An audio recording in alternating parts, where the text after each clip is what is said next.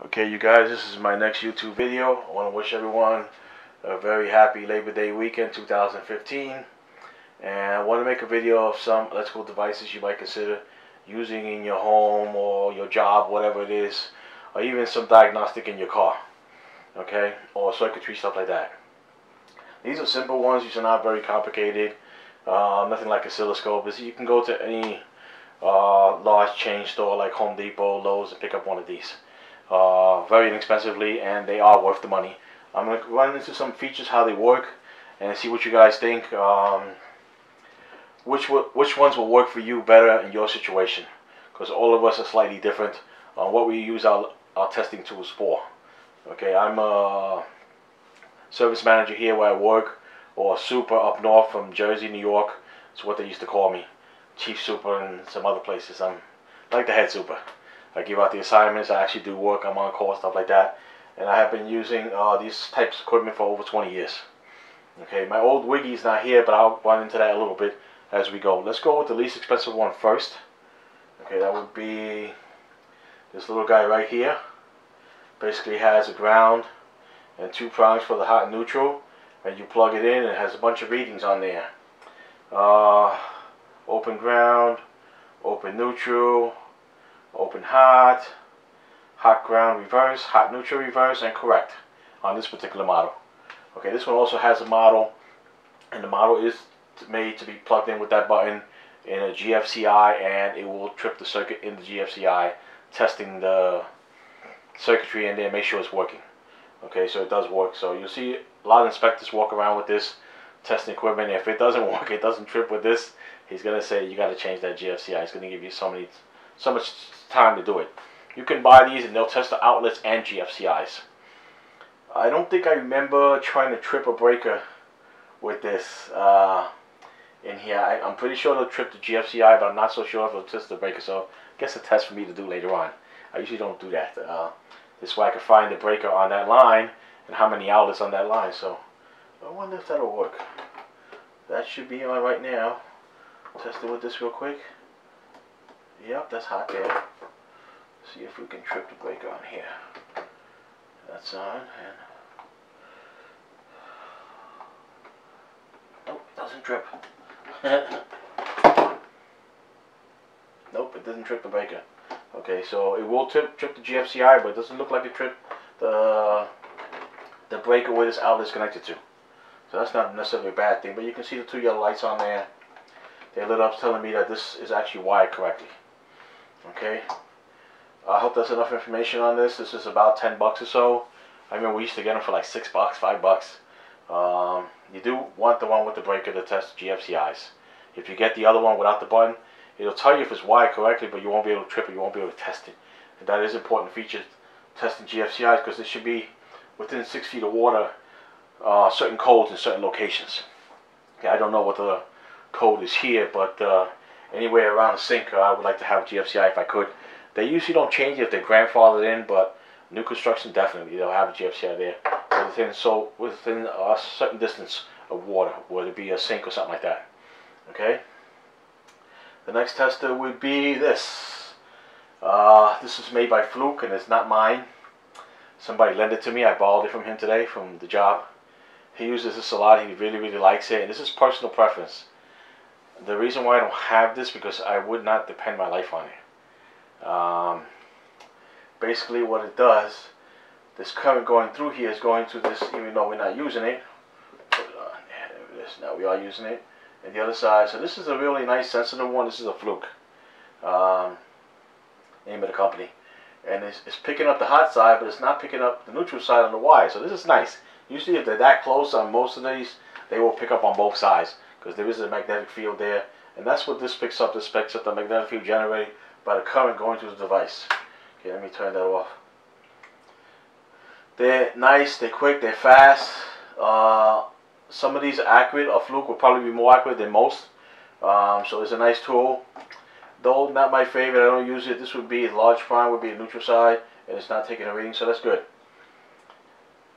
You can consider this. This might work for you. You might like this in your house. Uh, you can usually get these for under 20 bucks. The Fluke's going to be more money. Okay, Probably 30, I'm not sure. I don't even use this. It's not my favorite. I use this a lot. Okay, not necessarily to test GFCIs to see if they'll trip, but more so outlets. Probably 90% outlets. I use this to test. We have uh, open ground, open neutral, somebody reverse the wiring stuff. It'll pretty much tell me right away. Um, and then I'll go to the next outlet in series, see if the broken wire is in there, uh, fix it, put a pigtail, whatever I gotta do. Okay, so these are really, really nice to save a lot of time. The Wiggy, some people at first glance would say that looks like a Wiggy, but this has a, this is a multimeter, has a lot of functions. Most Wiggies usually have two leads, and they'll give you AC, DC, continuity. They might beep, and they might even have a digital display. Uh, you see a lot of electricians use Wiggies with a digital display so they can see what kind of reading they're getting. Okay, they're usually the easiest for most people to use. They're the simplest to learn, and they can be very accurate if you get a TRMS or True RMS. That's what that says there. I don't know if you guys can see that, but it says True RMS. You can get True RMS meters for under about 60 bucks. I could have saw one for $50, but you want to get one that has a really good rating. This is BK Precision, got a very good rating for $90. Uh, probably one of the best ratings for $9 I could find. I actually had a really nice Milwaukee for 130 and it kind of walked, so I had to get another one. I do a lot of electrical testing. I'll test my car, my charging system, my battery. Battery actually died last week. I had to buy one. I was able to check the charging system and make sure it was functioning properly. It was kicking out over 13 volts DC. It was actually kicking out over 14 after I put a new ground in there. So that was nice. Um, you got off, you got AC. DC, ohm, continuity, uh, capacitor, uh, other readings you got here, hertz, and sometimes I have to switch the leads around to get the proper reading. And then you got milli uh, amps and, and stuff readings here. Okay, you got a light in case you want to turn it on. You can see what you're reading, a whole button, range, and a maximum setting. So it's very, very nice. Much more precise because it is true RMS. Most people don't need multimeters. The Wiggy will be really nice, especially if you can get a digital display on there and see what kind of current you're getting. And if it is true RMS, even better. Okay, so that would be the way to go if you're a homeowner. You want to check, so it will pay for itself and it'll get you out of trouble. I apologize. I'm not breaking down the outlet because I want to do it right.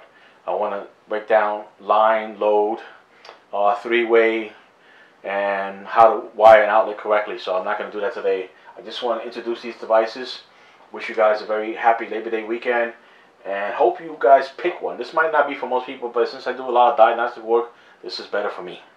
Okay, um, I could do the bulk of my diagnostic work with uh, with Wiggy style uh, tester, but um, with this one, I get a more precise reading and I get more features like testing capacitors when I work on HVAC uh, capacitors for the fan and for the compressor uh, this actually will tell me the capacitor is bad.